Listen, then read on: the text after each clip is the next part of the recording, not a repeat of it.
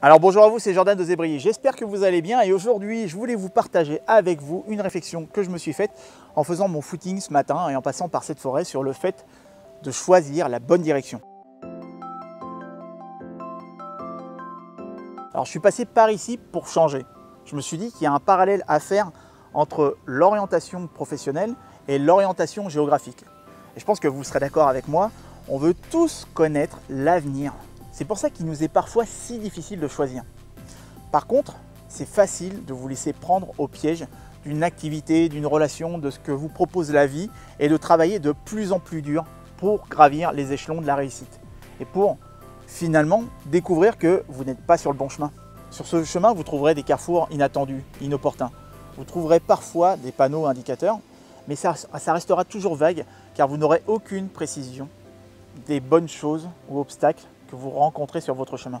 Il n'y aura pas de message personnalisé et aucune trace d'itinéraire conseillé. Et vous voilà planté là au milieu du carrefour attendant un signe qui ne viendra jamais. Comme un éclat de lumière qui viendrait éclairer une des routes ou le ressenti intérieur qui vous dirait ouais vas-y c'est par là. Le problème c'est quoi? Vous craignez de partir vers l'inconnu car vous voudriez écrire votre itinéraire dans les moindres détails. Et malgré toute votre inquiétude, ça pourrait ne pas fonctionner. Oui, vous avez bien compris, il n'y a pas de faute à cette phrase. Et peut-être c'est le secret pour faire quelque chose d'important. Je rencontre beaucoup de personnes qui me disent penser à se lancer dans quelque chose de risqué et de nouveau. Et certains pensent à quitter leur job et sauter le pas de l'entrepreneuriat et d'autres à se consacrer un peu plus à leur passion. Bien souvent, cela signifie bah, le début d'une envie de fonder une famille ou de partir à l'aventure en faisant un tour du monde ou bien euh, d'être libre tout simplement. Quel que soit votre projet, que cela soit implicite ou explicite, vous en venez à vous poser cette question avec le même niveau d'anxiété. Comment je peux savoir? Comment je peux savoir si je suis censé me marier? Comment je peux savoir si je dois débuter une vie d'entrepreneur? Comment je peux savoir si ce voyage autour du monde serait bon pour moi? On se pose tout un tas de questions, toutes ces questions de euh, comment je peux savoir dès lors que l'on se lance à l'aventure ou dans l'inconnu. Et je suis convaincu que c'est une bonne chose.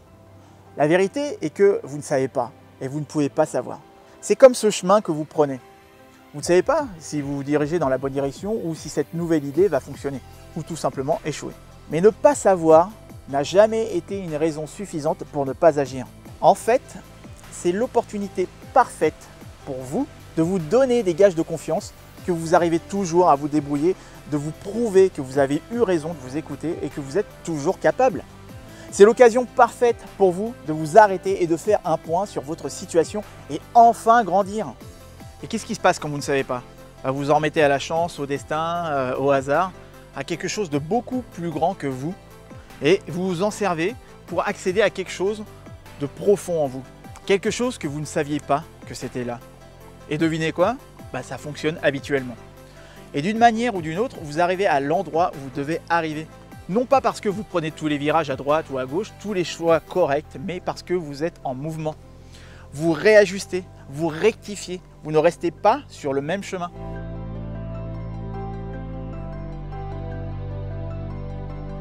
Si vous n'êtes pas sûr de vous orienter dans la bonne direction, prenez votre courage à deux mains.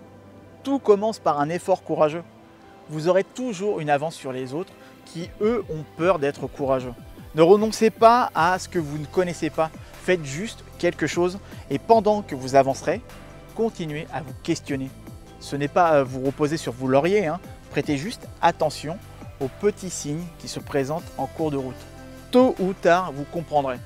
Comme tant d'autres fois où vous vous êtes retrouvé dans cette situation, ça se passera bien pour vous. Alors je sais que ça peut ne pas sembler être le cas tout de suite, mais ça le sera et bien plus tôt que vous ne le pensez. Jusque-là, vous allez devoir vous faire confiance. Vous savez que vous êtes là sur la bonne voie, que vous vous orientez dans la bonne direction lorsque vous faites cette chose que tant de personnes ont peur de faire, aller de l'avant et se montrer courageux. Alors bien sûr, ça n'est pas facile ou sécure, mais c'est la seule chose qui vous permet de vous orienter dans une direction. Juste pensez toujours à faire un premier pas. Voilà, j'avais envie de vous partager ce message entre mon footing et puis les séances photo vidéo que j'allais faire aujourd'hui. Si vous avez un projet de reconversion professionnelle, que vous voulez changer de voie, trouver le métier qui vous correspond ou que tout simplement vous avez un projet de création d'entreprise et que vous voulez développer l'état d'esprit qui vous permet de réaliser ce projet, je vous invite comme d'habitude et tout simplement à me contacter sur mon site osebriller.com et à l'aide de l'onglet découverte de m'exposer votre projet.